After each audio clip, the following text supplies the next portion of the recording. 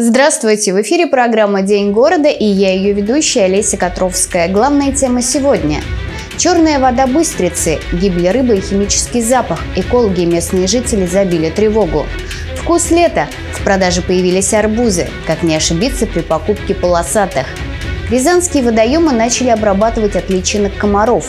Первый в списке пруд «Серая шейка» в Дашково песочне.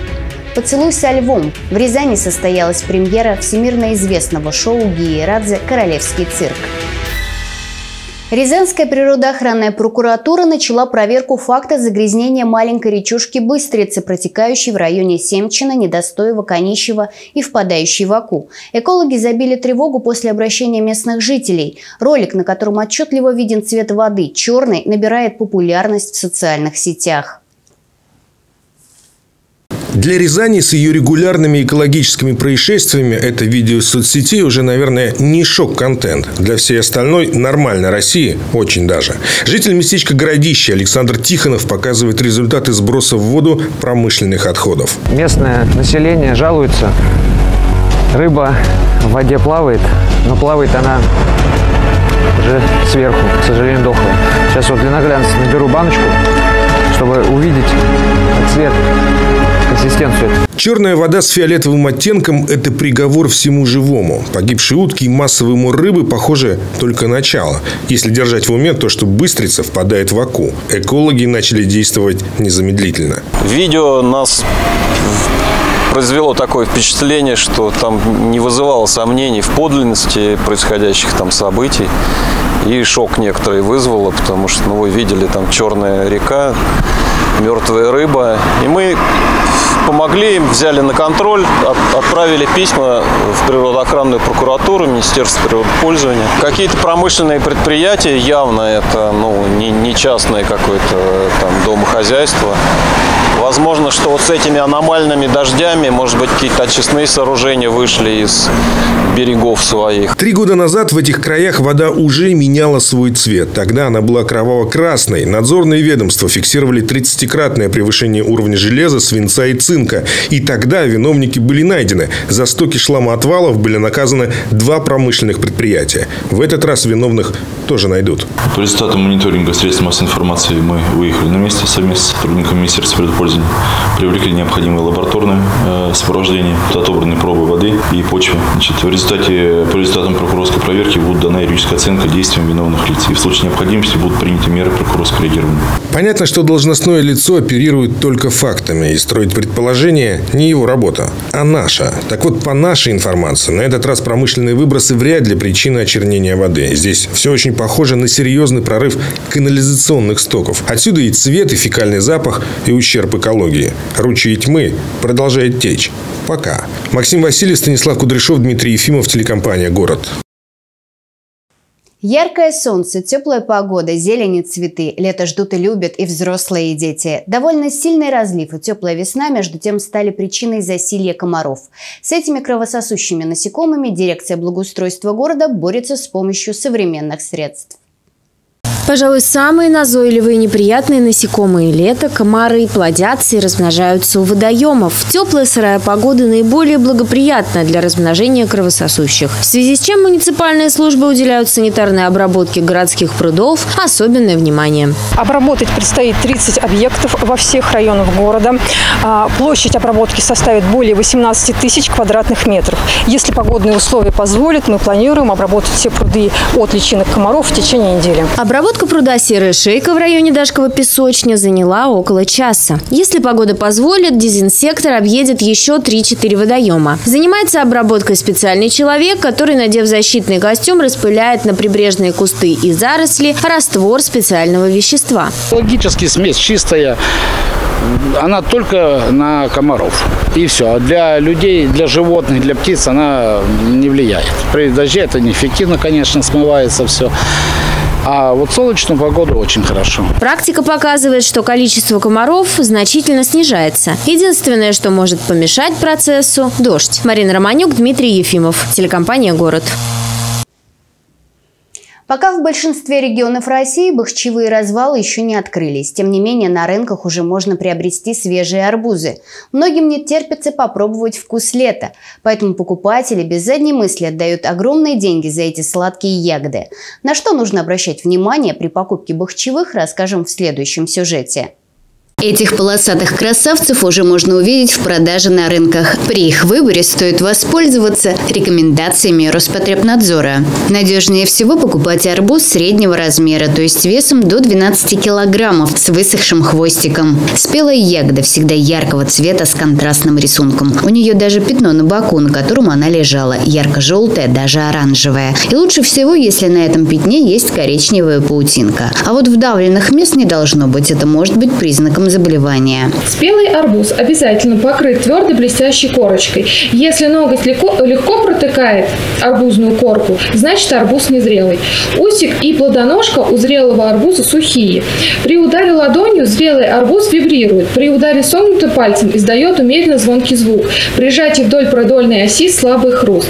Мякоть красная различных оттенков. Семена вызревшие черного или коричневого цвета. Дыни выбирают по тем же правилам, однако есть и небольшие различия различия. У спелой дыни сторона, противоположная от хвостика, должна быть немного мягкой. Если же она твердая, значит дыня незрелая. А если щелкнуть по ней, звук должен быть глухим. И, конечно же, от нее должен исходить аромат. Запаха нет, тогда и покупать этот плод не стоит. В случае, если дыни или арбуз попались гнилые, не выкидывайте сразу в помойку, советуют эксперты. Отнесите обратно в магазин. Горе-арбуз заменят или вернут деньги, если сохранен при покупке чек. Разрезанные арбузы и дыни храните только в холодильнике холодильнике. Если после разреза обнаружится, что а, купленный вами арбуз имеет кисловатый запах, то ни в коем случае э, нельзя его есть. Это может привести к пищевому отравлению. Реализация бахчевых культур вдоль автодорог и из необорудованных торговых мест запрещена. Поэтому следует помнить, что в таких местах продаются арбузы и дыни, не прошедшие необходимую санитарную экспертизу. Кроме того, арбузы могут впитывать в себя тяжелые элементы, которые содержатся в выхлопных газах автомобилей.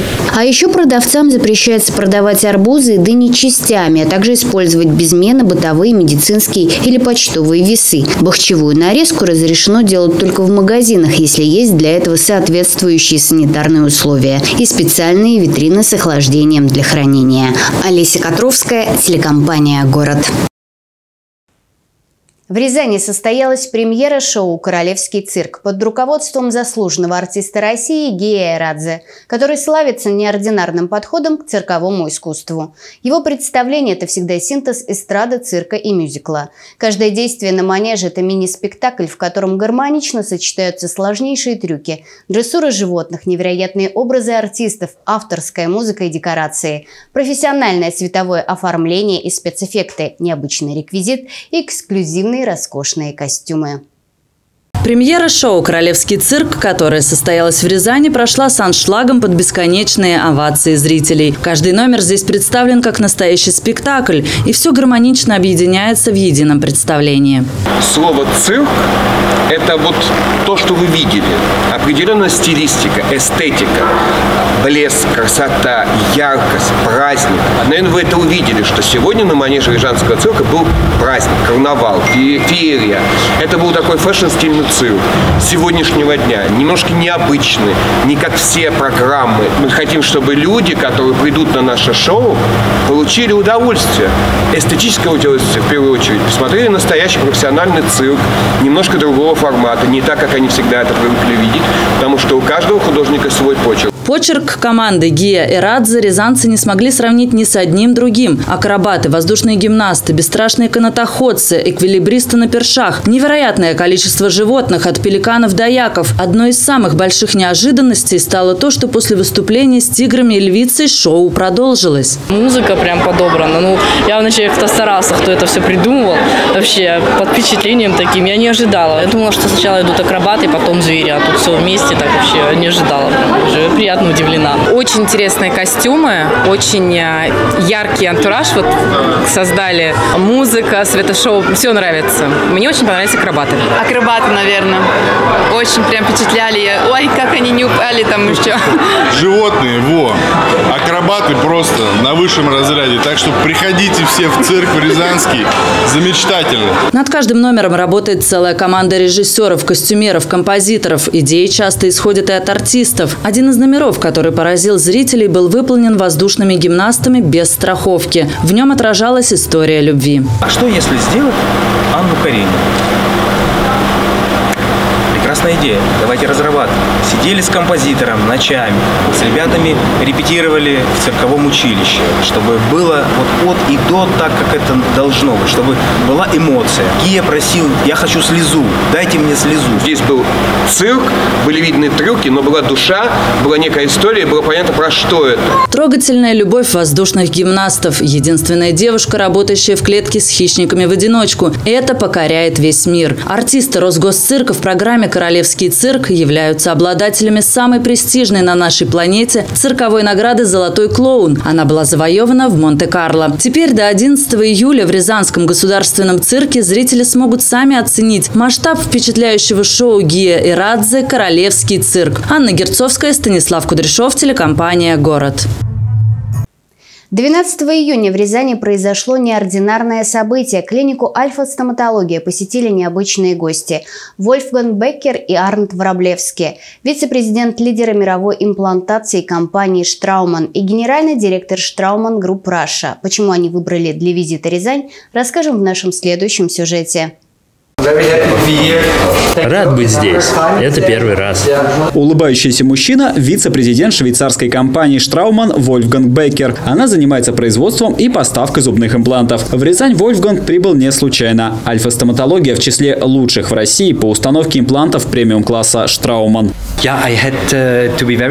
Я буду с вами откровенен. Я слышал много хорошего, хороших рекомендаций от моих коллег из э, России о том, что вот в центре России, в сердце России есть клиника, которая смогла организовать работу с нашей продукцией. Я стараюсь всегда посещать клиники, где используется продукция Straumann, и я был очень приятно удивлен э, тем уровнем э, организации работы, э, который был создан здесь. Если для Вольфганга это первый визит в Рязань, то генеральный директор Straumann Group Russia Арнт Враблевский уже второй раз проходит по этим коридорам. Вместе с коллегой они осмотрели оснащение альфа-стоматологии и были в восторге от уровня стоматологии в провинциальном городе России. Мы предлагаем высокотехнологичные продукты, но также нам важно, чтобы они правильным образом использовались для лечения пациентов. И мы думаем, что альфа-стоматология – это правильный партнер в регионе, потому что она также придерживается принципов высокого качества. Клиника Альфа-стоматология работает с имплантами фирмы Штрауман много лет. Признаются, что в выборе не ошиблись и всегда считали, что рязанцы достойны получать продукт мирового уровня. Тем более, что ценовая политика клиники такова, что импланты Штрауман могут позволить себе граждане с не самыми большими доходами. Самое главное – это сама поверхность этих имплантов, SL Active, так называемая, которая позволяет э, сократить сроки приживления ну, практически в 2-3 раза. То есть через месяц на этих имплантах уже можно начинать протезировать. Такого нет, конечно, ни у кого. После экскурсии Вольфганг признался, что приятно удивлен. И в первую очередь его впечатлил европейский подход к работе. Штрауман – компания швейцарская, и качество они ценят больше всего. Альфа-стоматологию они отметили как клинику с качественным оборудованием, отличными специалистами и грамотным медицинским сервисом. Есть и еще одна приятная новость. Штрауман готовы к серьезным инвестициям в обучающий центр на базе с альфа-стоматология и ждет с визитом в Швейцарию руководство клиники для согласования позиций. А это инвестиция не в купи-продай, а действительно в образование нашей молодежи. Валерий Седов, Станислав Кудряшов, телекомпания «Город». И на сегодня это все. Еще больше новостей смотрите на нашем сайте город62.тв. Всего хорошего и до встречи в эфире.